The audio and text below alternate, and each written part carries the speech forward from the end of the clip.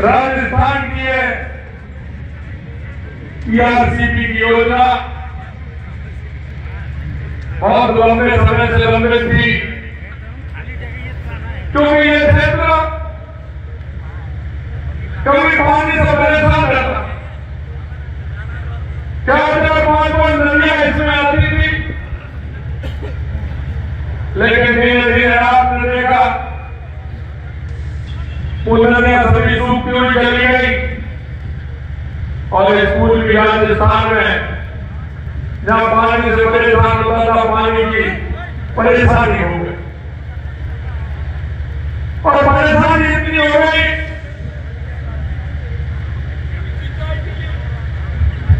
सिंचाई के लिए पानी बने लेकिन पीने के पानी की और बड़ी परेशानी। सरकार हमारे दो हज़ार चार में सरकार दी थी और चार में केंद्र में मांगे अटल बिहारी वाजपेयी जी की। तो इसका मुहूर्त लगा योजना बनी। क्योंकि प्रधानमंत्री अटल बिहारी वाजपेयी जी का सपना था नदियों से नदियाँ जोड़ने का, और वो सपना हमको भी लगा कि हमारे पूर्वी राजस्थान को भी उसका लाभ मिलने वाला है। योजना बनी थी, लेकिन योजना बन गई मान्य अटल वाजपेयी की सरकार चली गई थी। जो सरकार आई थी, उसे सारी बातों से कोई लेना देना नहीं था। और उन्होंने कभी विचार भी नहीं किया, क्योंकि उनको विचार करने की आवश्यकता भी नहीं पड़ी। क्योंकि वो जनता के दर्द बताने वाले नहीं थे। वो सिर्फ़ लोग और भूख की राजनीति करते थे। गरीब को गरीब का सपना दिखा करके राजनीति करते थे। जब भी वो वोट मांगने आते थे, गरीब के हटाव बना देते थे। कभी गरीबी उन्होंने हटाने की कोशिश नहीं। मैं आपको ध्यान दिलाना चाहता हूँ कि अगर गरीब हटाने का काम किया तो देश के यशस्वी प्रधानमंत्री नरेंद्र मोदी ने दो हज़ार चौदह के बाद गरीब कल्याण की योजनाओं को घर घर पहुँचाने का काम किया। इतनी बड़ी संख्या में हमारी माता है।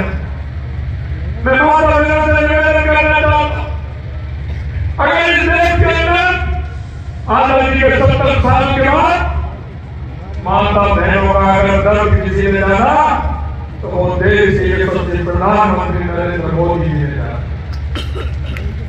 अरे वो आदमी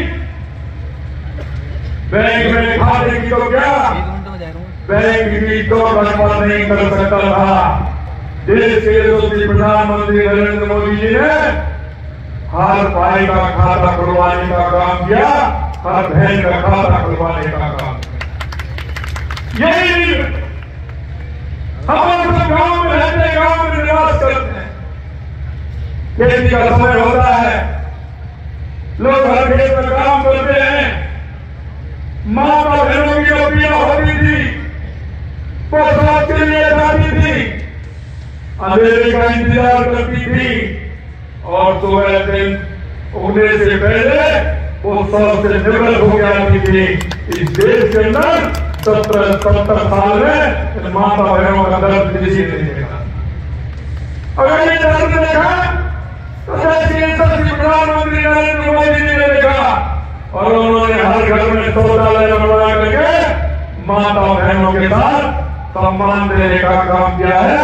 ये माननीय नरेंद्र मोदी जी ने किया माता बहनों के लिए खाता खुलवाने का काम किया शौचालय बनवाने का काम किया माता बहन परेशान होती थी जब बारिश होती थी ईंधन को सबसे सुरक्षित स्थान पर रखती थी।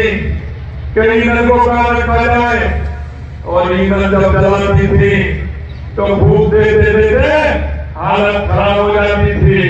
धुआँ आँखों में भी आता था और धुआँ फेफड़ों में भी जाता था।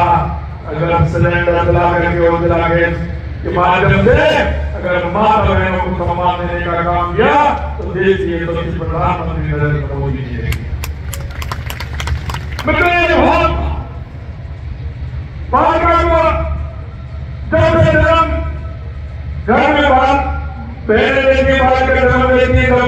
ये पढ़ाई तक की व्यवस्था करने का काम यशस्वी प्रधानमंत्री नरेंद्र मोदी ने यही हमारे गरीब कल्याण की योजना है उसको पूछ रूप देने का काम के प्रधानमंत्री नरेंद्र मोदी ने किया आज प्रधानमंत्री आवास बहनों के नाम देकर के बहनों को सम्मान देने का भी काम किया और बहनों को छत देने का भी काम किया। तो देश के यशस्वी प्रधानमंत्री नरेंद्र मोदी जी ने। मैं सारी बात आपको इसलिए कहना चाहता हूँ, मित्रों, कि राजनीति दल एक तो वो होता है जो मन से काम करता है, जनता के बीच में जाता है, जो सिर्फ़ वोट के समय आता है। और वोट के समय झूठे वायदा करता है। मैं धन्यवाद देना चाहता हूँ देश के यशस्वी प्रधानमंत्री नरेंद्र मोदी जी को कि जो वो कहते हैं, वो करते हैं। और करते हैं वही कहते हैं। आपने देखा हो। हमने आपसे वादा किया है। हमने आपके बीच में घोषणा पत्र लेकर के गए हमने हमारे घोषणा पत्र में लिखा था माननीय यशस्वी प्रधानमंत्री नरेंद्र मोदी जी छह हज़ार रुपए किसानों को सम्मान निधि देते हैं। हम उसको बारह हज़ार रुपए करेंगे। ये हमने आपसे वादा किया और हमने प्रधानमंत्री में छह हज़ार से दो हज़ार बढ़ा करके, पहली किस्त हमने दो हज़ार की बढ़ा करके, आठ हज़ार रुपया देने का हमने वाला वादा पूरा किया है कि हमने सर्व तरीके से दो हज़ार रुपये के साथ सम्मान निधि में बढ़ाया। किसान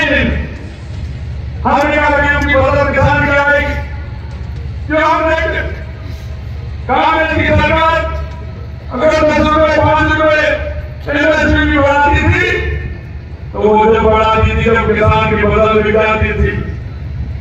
किसान आने में आठ रुपये दस होते थे। पूरा किसान का गेहूँ बिक था उसके बाद बढ़ा देते हमने सोचा मार्च के महीना है किसान की फ़सल आने वाली है हमने पहली कैबिनेट में एक सौ पच्चीस रुपए बढ़ाने का काम किया है। बाईस सौ पचहत्तर से हमने चौबीस सौ रुपए गेहूँ की एमएसपी करने का काम किया है। यही नहीं। हमने कहा था, सामाजिक सुरक्षा पेंशन वृद्धावस्था पेंशन, दिव्यांग पेंशन भत्ता। हमने कहा बनाएँगे हमने पहली बार उसको बढ़ा करके। एक हज़ार से ग्यारह सौ पचास रुपए करने का काम किया है। हम आपका एक एक वायदा पूरा करके जा रहे हैं। आपसे जो हमने वायदा किया, हमारी सरकार उसको पूरा करने का काम कर रही है। यही नहीं माननीय गजेंद्र शेखावत जी ने के बारे में आपको पूरा बताया अरे इन्होंने तो वो काम किया था। राजस्थान में इनकी सरकार थी। मध्य प्रदेश के अंदर इनकी सरकार थी। छत्तीसगढ़ के अंदर इनकी सरकार थी। लेकिन उन्होंने सरकार का फ़ायदा कैसे उठाया, वो मैं आपको बताना चाहता मध्य प्रदेश से मुख्यमंत्री कमलनाथ जी से कहा कि आप आइए समझौता करिए क्या उनके पास उन्होंने कहा उन्होंने उल्टी चिट्ठी लिखी राज्य सरकार को, केंद्र सरकार को, कि हम किसी भी कीमत पर राजस्थान में ईआरसीपी लागू नहीं होने देंगे। ईआरसीपी के लिए हम तैयार नहीं है। हम किसी तरह का कोई समझौता नहीं करेंगे। और यहाँ तो नहीं, कोर्ट में और पहुँचने का काम किया तो कोर्ट में हमने कहा, भैया, ये कैसे हो रहा है? आपकी सरकार मध्य प्रदेश में भी राजस्थान में करिए, लेकिन नहीं किया। छत्तीसगढ़ से कोयला आता है। कोयला में नब्बे बिजली में नब्बे हज़ार करोड़ रुपए का घाटा दिया है कोयला छत्तीसगढ़ से आता था लेकिन समझौता कर लिया क्योंकि छत्तीसगढ़ में भी इनकी सरकार थी वहाँ से साइड हैं और दूसरी साइड बनाने वाले कोयला आना बंद हो गया और कोयला हमने चालीस प्रतिशत महँगा लेकर के कोयला लेने का काम इन्होंने किया क्योंकि उनमें कुछ कुछ ना कुछ घोटाला था इसलिए वो काम किया उन्होंने अरे सरकार की ऐसी अगर भाइयों में ऐसा तो भाजपा की सरकार हमारी है और भाजपा के मध्य प्रदेश में भाजपा की छत्तीसगढ़ में भाजपा की हरियाणा में हमने हमारे मुख्यमंत्री जी ने कहा कि आज ये भाई हमारे देश में पानी की दिक्कत परेशानी है हमारी योजना है? आपकी भी योजना है। आप अपने देश में भी लगाइए, हमारे देश में भी ले लीजिए। समझौता करना है। अरे भाई तो ऐसा हो उन्होंने कहा भाई हमारे हैं। कहा दिल्ली आ जाइए। मुझे दिल्ली में भी घर बनाऊँगा। आपको साथ लेकर चलूँगा और दिल्ली में जाकर के फिर दोनों भाई समझौता करेंगे। अगर भाई होता है तो इस तरह का होता है, इस तरह का भाव रहता है। और भाई मोदी जी हमारे धन्यवाद देना चाहता हूँ मध्य प्रदेश के मुख्यमंत्री मोदी को। वो आए और जयपुर से साथ लेकर के गए और दिल्ली में समझौता हुआ और गजेंद्र जी ने मिठाई खिलाने का काम किया। ये होता है भारतीय जनता पार्टी की सरकार। हमने दिन से कहा, भाई, यहाँ से हमारे यहाँ कोयला आता है। हमें कोयला की आवश्यकता है। हमें बिजली की आवश्यकता है। उन्होंने कहा, बताइए, मैंने आपके यहाँ जो वन विभाग की ज़मीन है, उसकी एनओसी हमें चाहिए। वहाँ से हमें वृक्ष जो पेड़ है, वो काटने की अनुमति चाहिए। और साथ हमें नज़दीक है, वो चाहिए। उन्होंने कहा, आप चिंता क्यों कर रहे भाई जी? हमने सुबह कहा, शाम को फ़ाइल सुबह फ़ाइल चली। और रात को साढ़े ग्यारह बजे मैं धन्यवाद देना चाहता हूँ छत्तीसगढ़ के हमारे मुख्यमंत्री विष्णु जी को शाम को साढ़े ग्यारह बजे रात को फ़ोन करके कह दिया, भाई जी, आपका काम हो गया है। कल से आपका काम चालू हो जाएगा और जितना कोयला आपको चाहिए, वो राजस्थान को हम देंगे। इसे कहते हैं भारतीय जनता पार्टी की तरफ़ मैं आपसे यही कहना चाहता इन्होंने सिर्फ़ इसे लटकाने भटकाने का काम किया। आजकल इनमें होड़ लग रही है। केंद्र की कांग्रेस की सरकार में और राजस्थान की सरकार राजस्थान की पार्टी और केंद्र की पार्टी। सोनिया जी चाहती है? राहुल जी को कैसे प्रमोट किया जाए राहुल जी को कैसा मौका दिया जाए वो उनकी चिंता उनको सता रही है। तो बेटे की चिंता सताएगी तो जनता का काम करेंगे क्या? आप बताइए करेंगे क्या? आप बताइए, करेंगे क्या? सोनिया जी को राहुल जी की चिंता और अशोक गहलोत जी को वैभव जी की चिंता। वो उनकी चिंता, बेटे की चिंता यहाँ कर रहे हैं। वो बेटे की चिंता वहाँ कर रही है। बेटों के चक्करों में चल रहे हैं। मैं आपसे कहना चाहता हूँ, मित्रों, अगर राजनीतिक दल हो भारतीय जनता पार्टी जैसा हो, हमारा नेतृत्व, इनका तो पता है। आगे आने वाले अध्यक्ष का नहीं पता है। इनका कौन बनने वाला है? ये तो पता नहीं कैसे प्रेशर बढ़ा दे उनको बढ़ा दिया। और आप सब जानते हैं कौन बनता है। ये किसको प्रमोट करते हैं? ये परिवारवाद। कांग्रेस को उठा करके रहेगा ये परिवारवाद। मैं आपसे कहना चाहता हूँ, क्योंकि ये परिवार की चिंता करते हैं।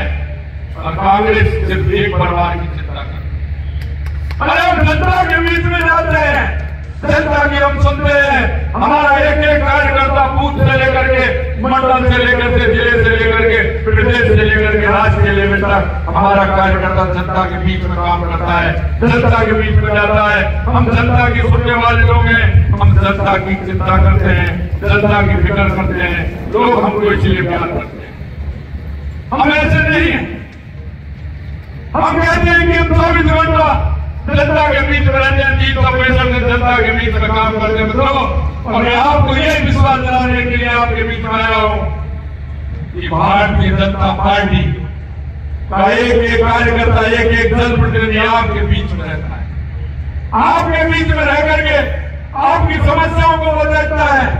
और आपकी समस्याओं को देख करके अगर आपसे वादा करता है तो ये विश्वास आपको मैं दिलाना चाहता हूँ। कि भारतीय जनता पार्टी ने किसी भी दल प्रतिनिधि ने अगर हमसे वायदा किया है, किसी कार्यकर्ता ने अगर आपसे वायदा किया है, निश्चित रूप से हम एक एक वादा को आपके साथ मिलकर के हम पूरा करेंगे। ये अगर आपको हमारी ये योजना, मैं फिर प्रधानमंत्री नरेंद्र मोदी जी का धन्यवाद देना चाहता हूँ। हमने कहा, हमारी योजना बड़ी होगी, क्योंकि मानते हैं कहते हैं कि मेरा मान में आना चाहिए, मेरा क्षेत्र भी आना चाहिए। हमने उन सभी क्षेत्रों को, सभी विभागों को भी इस सीपी में सम्मिलित किया है। और मैं धन्यवाद देना चाहता हूँ हमारे जल शक्ति मंत्री गजेंद्र सिंह जी को। चुनाव से पहले भी आपके बीच में आए थे। कहा था कि हम इसको पूरा करेंगे। और मैं धन्यवाद देना चाहता हूँ यशस्वी प्रधानमंत्री जी को हमारी जो पहली योजना हमारी तेरह में गई थी, वो सिर्फ़ सैंतीस हज़ार करोड़ रुपए की वो योजना पैतालीस हज़ार करोड़ रुपए की बनी है और पास भी हुई है। और मैं एक बात और आपसे कहना चाहता हूँ। कि उसमें नब्बे परसेंट पैसा हमारी केंद्र सरकार से माननीय यशस्वी प्रधानमंत्री नरेंद्र मोदी जी उसमें देने वाले हैं। दस परसेंट पैसा राज्य सरकार देने वाली है। क्योंकि हमारे प्रधानमंत्री जी जो कहते हैं वो करते हैं। और उन्होंने करके भी दिखाया है। मैं तो मैं इतना निवेदन आपसे करना चाहता हूँ। दो हज़ार चौदह के बाद इस देश की स्थिति और परिस्थिति आपने बदलती हुई देखी। आपने वो भी देखा होगा। कांग्रेस के लोग कहते हैं लोग एक रुपया भेजते हैं तो पंद्रह पैसे पहुँचता है। आज मैं आपके बीच में कहना चाहता हूँ, अगर केंद्र सरकार से सौ रुपये आएगा तो वो पूरा सौ का सौ रुपए पहुंचेगा।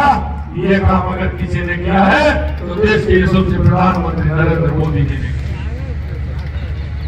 यही दिन हमने एक एक वादा आपसे किया। हम एक एक वादे को पूरा करेंगे, क्योंकि माननीय प्रधानमंत्री जी जो कहते हैं, वो करते हैं और करते हैं, वही कहते हैं। अंत में मैं आपसे इतना ही कहना चाहता हूँ। आने वाला समय आपका है आपका इसलिए है कि आप जनता के बीच में जाएँगे, जनता से कहेंगे। चौदह के बाद इस देश के अंदर एक भी घोटाला नहीं हुआ और दो हज़ार चौदह के पहले अखबारों को आप पढ़ लेना। वो मैं इसलिए कह रहा हूँ कि दो हज़ार तो चार से लेकर के चौदह तक जो हमारे साथी थे कोई आठ साल की उम्र थी कोई दस साल की उम्र थी। वो आज बीस बाईस साल का हो गया। उसको पता नहीं है कि 2004 से चौदह तक क्या हुआ था। मैं आपसे यही कहना चाहता हूँ। आज जिस तरह की घटना होती थी आज आतंकवाद की घटनाएँ आज भ्रष्टाचार की घटनाएँ होती थी। देश के यशस्वी प्रधानमंत्री नरेंद्र मोदी जी ने करके दिखा दिया। किसी भी आतंकी की हिम्मत नहीं है कि वो देश में आकर किसी घटना को अंजाम दे दे। अगर उन्होंने देने का काम किया तो दुनिया में तीसरे नंबर का देश भारत बना। तो घर में घुस के भी मारा, घर में पंद्रह भी लिया, उसको सबक सिखाने का काम किया तो देश के यशस्वी प्रधानमंत्री नरेंद्र मोदी जी के नेतृत्व में। इसलिए मैं आपसे इतना ही कहना चाहता हूँ, मित्रों क्या आने वाले चुनाव में लगातार हमने राजस्थान में दो हज़ार चौदह में पच्चीस सीट थी पच्चीस में से। उन्नीस में भी पच्चीस में से पच्चीस थी और अब की बार भी पच्चीस में से पच्चीस सीट देने का काम हम सभी को आपको मिल करके करना है। और पिछली बार थी पच्चीस थी उसके बाद भी पच्चीस थी लेकिन अब की बार मैं आपसे यही निवेदन करना चाहता हूँ, हमारे किसी भी बूथ पर हम कहीं भी एक भी बूथ ऐसा नहीं हो जिसमें हम जीते नहीं। हर बूथ को हमें जीतना है, हर बूथ को हमें आगे ज़्यादा वोटों से जीतना है। और अब की बार ऐसे नहीं चलेगा, अब की बार ये चलेगा, हर लोकसभा पाँच लाख से ऊपर वोटों से जीतनी है, ये मैं आपसे निवेदन करना चाहता हूँ। इतनी बड़ी संख्या में आप सभी लोग आए, काफ़ी देरी भी हुई। लेकिन आप इतनी बड़ी संख्या में आई हमारी माता बहन इतनी बड़ी संख्या में आई है। मैं आप सभी को हृदय की गहराइयों से बहुत बहुत धन्यवाद और साधुवाद देना चाहता हूँ और अंत में यही कहना चाहता हूँ आइए हम सब मिलकर के इक्कीसवीं सदी का भारत बनाए और इस भारत को दुनिया में मुकुट बनाए दुनिया में भारत को लोग जाने इस आशा और विश्वास के साथ आप सभी को बहुत बहुत धन्यवाद जय हिंद जय भारत